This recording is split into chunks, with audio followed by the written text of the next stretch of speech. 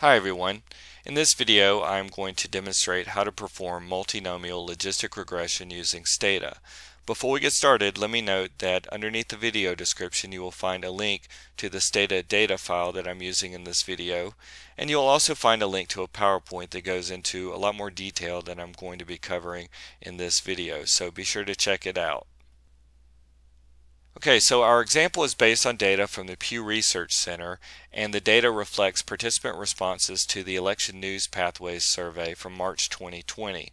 So in our data set, we have 1,071 cases that were uh, randomly sampled from the original data set uh, containing 8,914 cases. And in that original survey, uh, they asked questions regarding uh, individuals' perceptions of the COVID-19 crisis that we are currently facing. So I thought I would uh, analyze some data related to that since it's on everybody's mind at this point. So uh, in our demonstration we are going to be examining predictors of respondents' per perceptions of the COVID-19 virus as a threat to their personal health.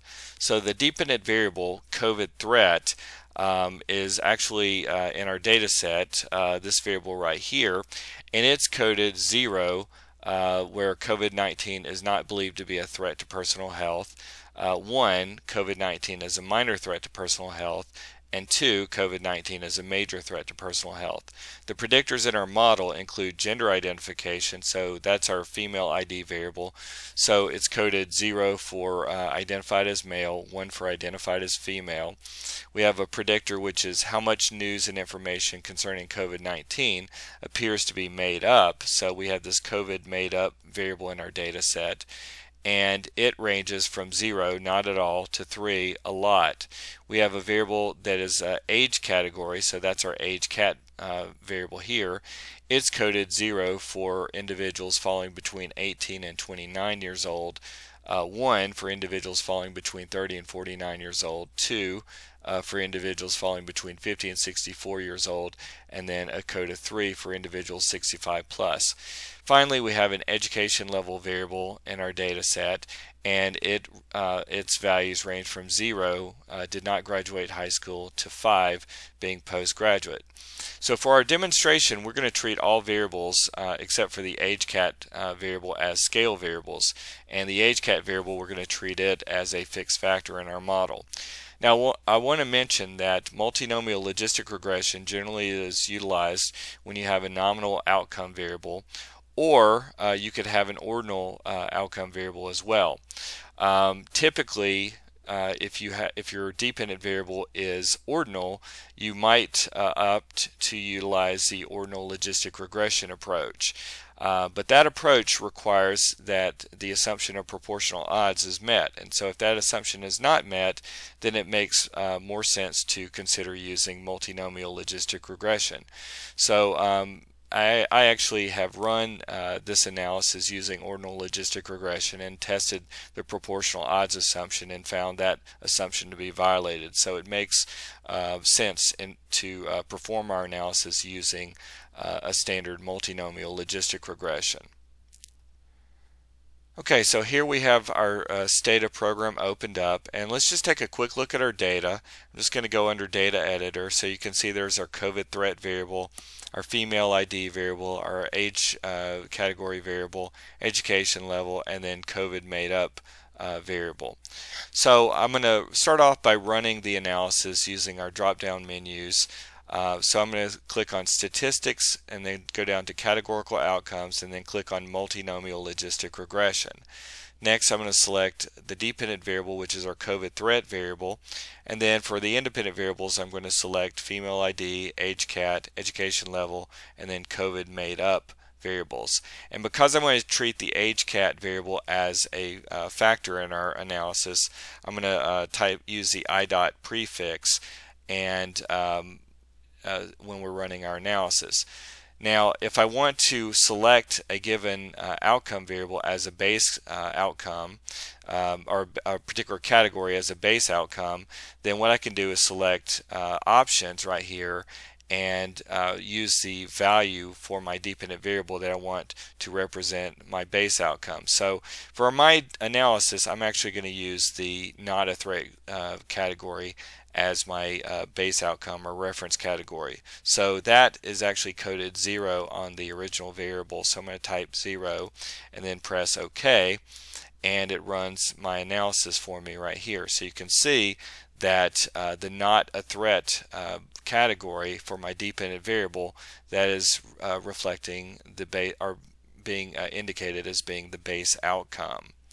Now if I want to run my analysis using uh, syntax I can go down to the command line and what I would do is I would use the mlogit command. So mlogit, and then I would type in um, the name of my dependent variable. So my the name of my dependent variable uh, happened to be COVID threat, then underscore ph, uh, and then I'll space, and then I'll add in the names of my independent variables. And just to kind of expedite this and to make uh, this uh, make it less likely I commit an error, I'm going to go over to uh, this section over here and just uh, highlight those variables and move them over uh, to the command line. So I'm going to select female ID, age category, education level, and then COVID made up. So with the age cat variable, I'm going to again use my idot prefix, and then following COVID made up, I'm going to type comma, and then I'll type in base outcome, and then inside parenthesis I'll type in a zero. So now when I run the analysis you can see I get the same results that I had before. Okay, so at this time I'm going to refer back to my PowerPoint uh, in this walkthrough of interpretation of the output. Uh, I do want to mention that uh, when I just ran the analysis, uh, the ordering in terms of the variables um, uh, the predictor variables in the model um, are not the same as that, as they are appearing here in this uh, screenshot. So just kind of keep in mind though that the values are exactly the same, but uh, I'm going to be proceeding from this particular um, demonstration rather than from the Stata output uh, directly. So the first portion of our output that we're going to look at is a likelihood ratio chi-square test and this is comparing the fit of our model with the complete set of predictors with an intercept only or a null model basically. So if it's statistically significant you can infer that at least one of the population regression slopes is significantly different from zero. So based on our likelihood ratio uh, chi-square test we can say that the model containing the full set of predictors represents a significant improvement in fit relative to a null model, so we can infer that at least one population slope is non-zero. Next, I draw your attention to the pseudo r-square value that's given. Uh, this is McFadden pseudo r-square, and this index is not computed in the same way as r-square and least squares regression. So you cannot interpret it as a proportion of variance accounted for as you would in the context of least squares regression. Uh, nevertheless, you can still think of McFadden pseudo r-square as an index of proportionate improvement in model fit relative to a null model. So we might say that based on McFadden's, we um, we uh, say that the full model containing our predictors represents a 5.83% improvement in fit relative to the null model. Next, let's start taking a look at the regression table. So, uh, as I noted before, since we assigned the not a threat category, which was coded 0 on the DV, to be our baseline category, there's no, there are no coefficients or tests that are provided for this level. Now the next section allows us to determine which of the independent variables significantly predict whether a person falls into the minor threat category versus the not a threat category. So the minor threat category is referred to as the comparison group and the not a threat category is again our baseline outcome or baseline category. Okay, so the first two predictors that we are going to look at are the COVID made up uh, predictor and the female ID uh, predictor. So we see that the regression slope for COVID made up is negative and statistically significant. And this result suggests that persons believing more strongly that news concerning COVID-19 is made up are at lower risk of believing the disease is a minor threat and at a greater risk of believing that it is not a threat and this is in comparison to persons who believe less that news concerning the disease is made up. The female ID predictor is positive and sig significant as well. And um, basically, this indicates that females are at a greater risk of believing the disease to be a minor threat and at a lower risk of believing it is not a threat in comparison, uh, as compared to males. Next, we see the education level predictor is positive and significant, and this result indicates that persons with more education are at a greater risk of believing COVID-19 is a minor threat relative to not a threat um, than those with less education. Now, since our age cat variable was treated as a categorical uh, variable in our model, each category shown represents a dummy variable comparing an older category versus the youngest category. So although the slopes for all three dummy variables were positive, only the last dummy variable was statistically significant. So this result indicates that persons aged 65 plus are predicted to be at greater risk of falling into the minor threat group and at lower risk of falling into the not a threat group and uh, as compared to persons who are aged 18 to 29. So the next section allows us to determine which of the independent variables significantly predict the risk of a person belonging to the major threat category versus the no threat category.